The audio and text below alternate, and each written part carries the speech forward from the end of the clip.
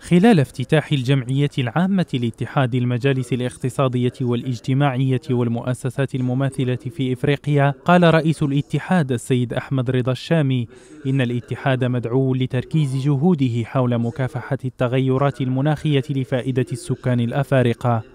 أكثر من 53% نتاع الساكنة في إفريقيا تيقولوا بأن راهم بداو يحسوا بالتغير نتاع المناخ. كاين انعكاسات على الحياة اليومية ديالهم. تيعانيو من الجفاف تيعانيو من قلة الماء تيعانيو تيعانيو من من التدهور نتاع نتاع التراب ديالهم باش سميتو إلى آخره. ويتوخى اتحاد المجالس الاقتصادية والاجتماعية والمؤسسات المماثلة في إفريقيا نهج حكامة مناخية على مستوى القارة الإفريقية من خلال التنسيق الجيد والتوفيق بين مواقف المجالس الاقتصادية والاجتماعية.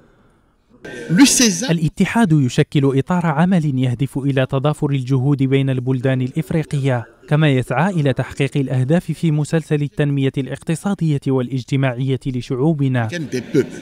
وتميزت أشغال هذا اللقاء على الخصوص بالمصادقة على محضر اجتماع الجمعية العامة العادية والاستثنائية وتقديم ميثاق اتحاد المجالس الاقتصادية والاجتماعية والمؤسسات المماثلة في إفريقيا المتعلق باستدامة التنمية في إفريقيا. فضلا عن تقديم والمصادقة على وثيقة الاتحاد من أجل عمل إفريقي في مواجهة التغيير المناخي.